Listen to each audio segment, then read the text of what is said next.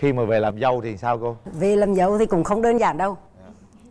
Tại vì nó chơi chiêu để nó mới hạ gục tôi được. Cho nếu nó không chơi chiêu là nó chưa phải là làm dâu. Trời đất ơi ô, ô hay quá hay quá. Lạ nè ôi chiêu gì vậy cô? Ủa nhưng mà tức là cô không cho cưới á hả? Không tháng 3 năm 2014 nhớ thường tháng luôn hả? ừ, là bắt đầu tôi đi quê. Dạ. Thì ra đi là bàn bạc với nhau ở nhà là à, cả con ơi mẹ đi cả đi cả về là phải 15 ngày tại vì xa mà.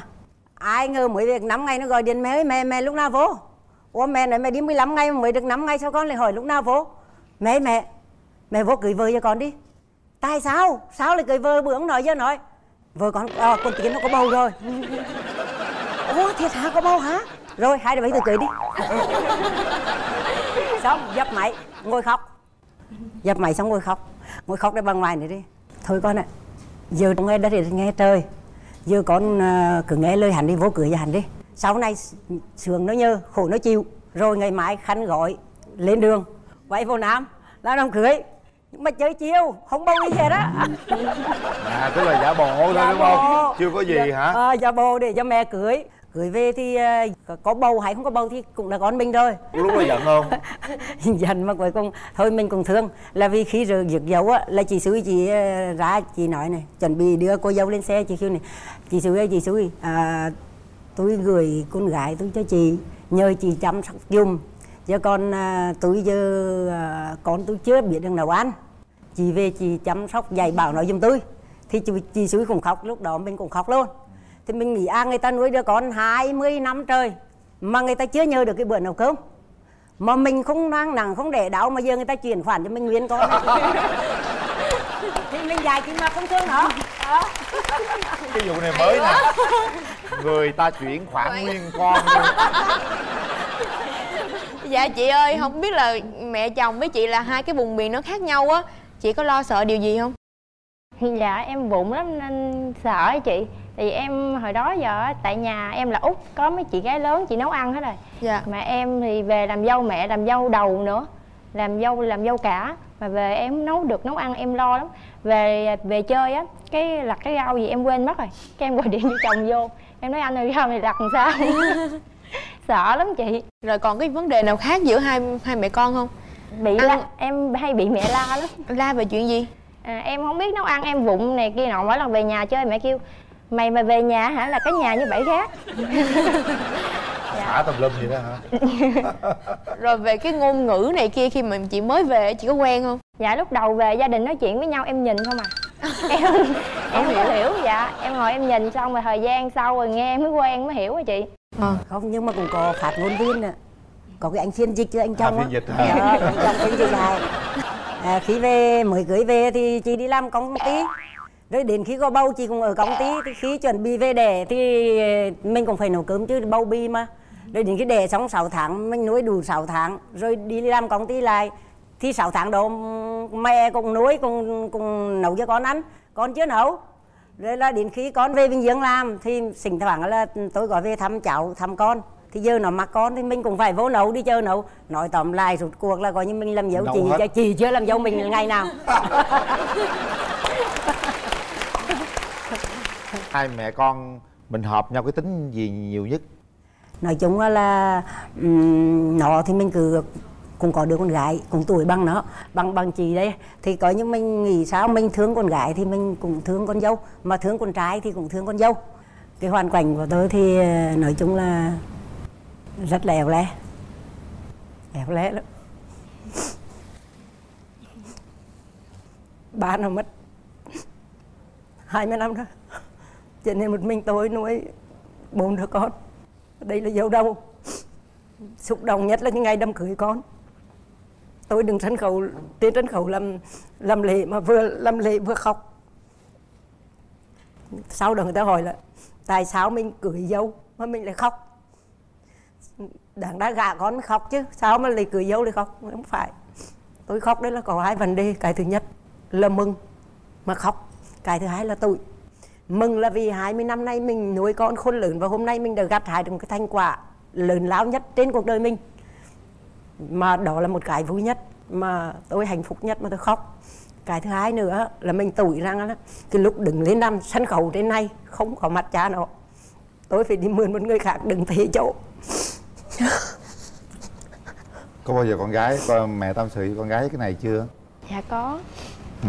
Dạ tại vì à, lúc mà quen anh á thì anh có kể hết cái chuyện gia đình của anh cho em nghe. Và cô ở suốt để lo cho con tới giờ đúng rồi tôi hy sinh để lo cho con. Tại vì ba nó mất rồi thì chưa cái chỗ dựa tinh thần lớn nhất là mẹ. Một tràng pháo tay dành cho cái tình cảm rất là thiêng liêng của mẹ dành cho đứa con ha. Bỏ qua những chuyện đó hết đi cô ha một chút ờ, ôn lại kỷ niệm ờ, có những giọt nước mắt rơi rồi.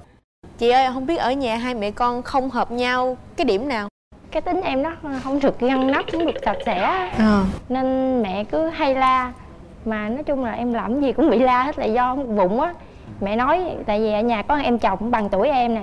Cái mẹ nói hả hai đứa mày mà làm dâu người ta hả ba ngày người ta đuổi cổ ra khỏi nhà.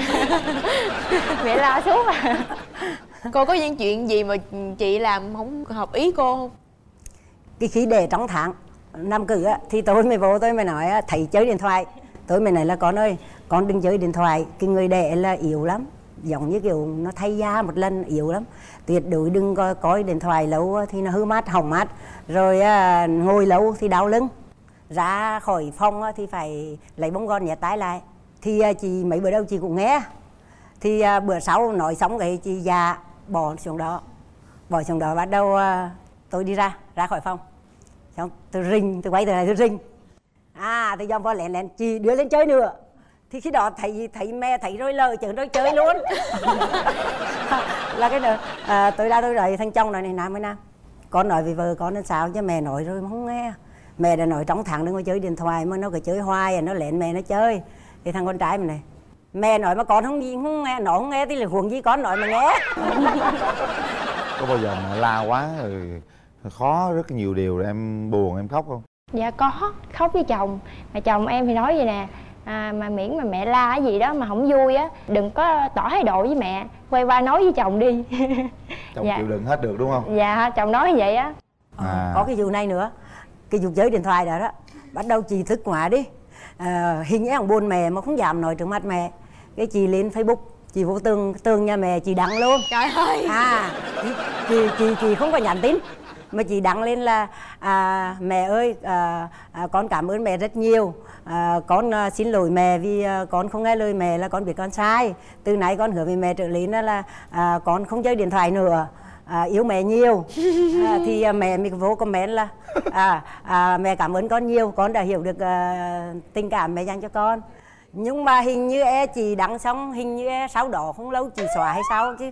Ba năm nay là facebook thường ôn lại kỷ niệm một năm mà không thấy ôn.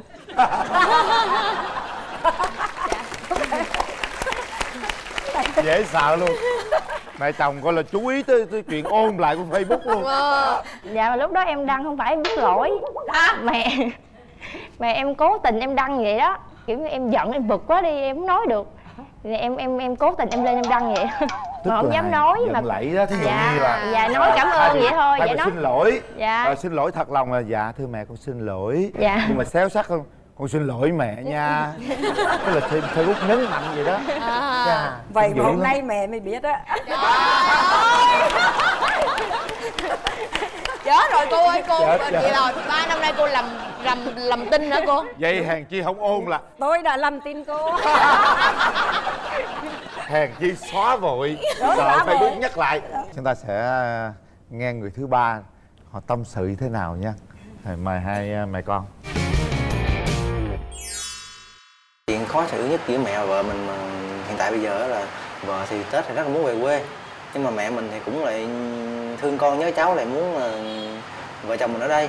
Nó với lại cũng là cúng kiến ông bà nữa. Ờ, Ừ, ngày tết á, cho nên thành ra mình cũng khó xử mình cũng muốn đưa vợ về quê mà cũng không muốn ờ, mẹ trên này lại buồn nên con không biết làm thế nào.